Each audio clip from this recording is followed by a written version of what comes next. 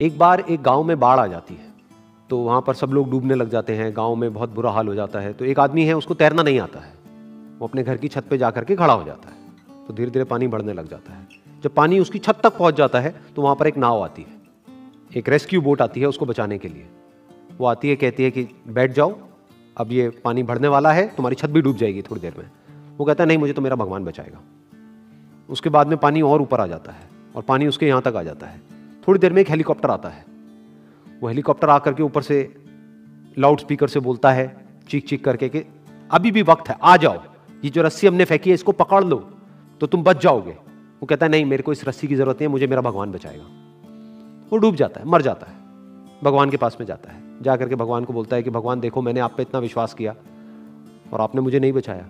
तो भगवान खींच करके उसको थप्पड़ मारते हैं। और भगवान कहते हैं कि, एक बात बता वो जो बोट भेजी थी, वो किसने भेजी थी?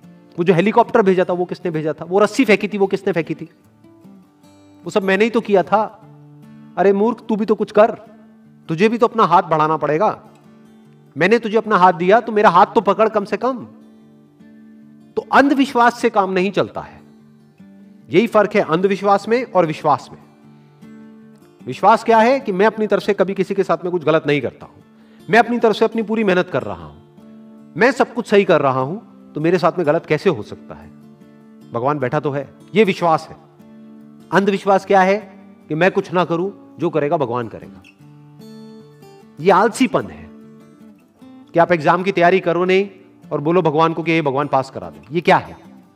ये सिर्फ़ आलसीपन ही नहीं है, धोखाधड़ी है। कि हे भगवान, ये मैं ग्यारह रुपए का अभी प्रसाद चढ़ा रहा हूँ, अगर मैं पास हो गया तो एक सौ एक रुपए का चढ़ाऊँगा।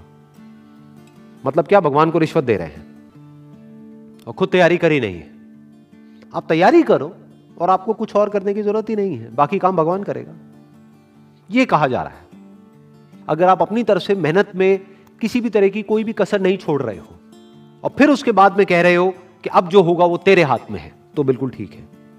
लेकिन आप अपना काम नहीं कर रहे हो और कह रहे हो कि सब कुछ तेरे हाथ में है तो आप चाहते हो कि आपका काम भी कोई और करे।